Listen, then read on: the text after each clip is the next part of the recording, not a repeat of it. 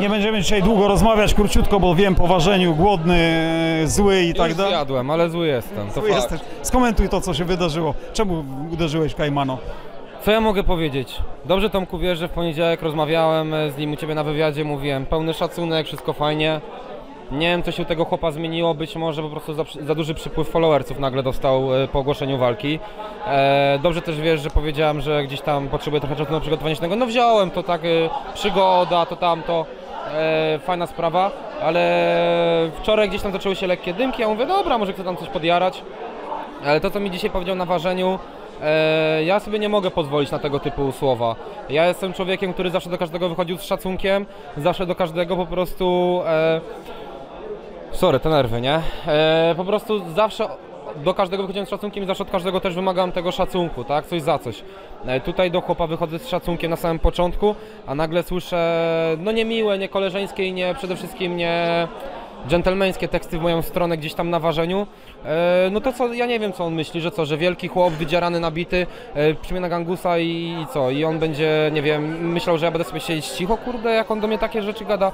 Ja sobie takie rzeczy nie pozwolę szczerze. Ja zawsze e, gdzieś tam broniłem tych słabszych, w tym momencie to ja na tego słabszego i nigdy nie lubiłem tego, jak wielkie podziarane chłopy chodziły po mieście po prostu, po klubach i tak dalej i wyciągały, kurde, i cwaniakowały do słabszych, dlatego, że myśleli po prostu, że ci słabsi mu nie oddadzą. Ja w tym momencie zrobiłem tak, żeby po prostu on się zdziwił, bo on myślał, że jak on do mnie szczeknie bardzo niedżentelmeńskim słowem, to po prostu ja nic z tym nie zrobię.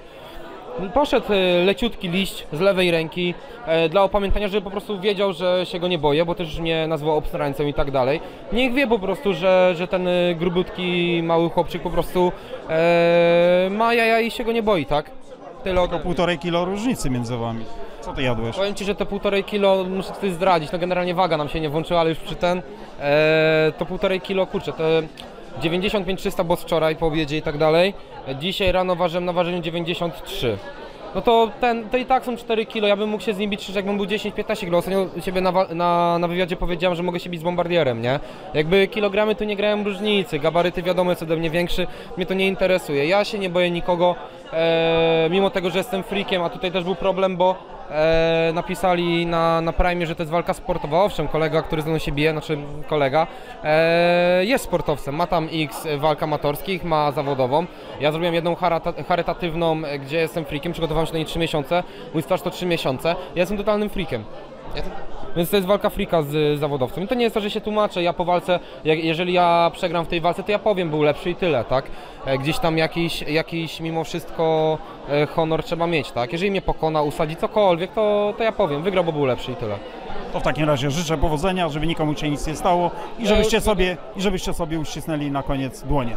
Zobaczymy. No jeżeli przeprosi za swoje słowa do mnie, to, to pogadamy, bo tak jak powiedziałem wcześniej, miałem do chyba wielki szacunek, a teraz to nie wiem, co o nim myśleć. Nie wiem, po prostu nie wiem. Zobaczymy jutro. Dziękuję bardzo. Dziękuję Tomku, pozdrawiam, Dzięki. szacuneczek.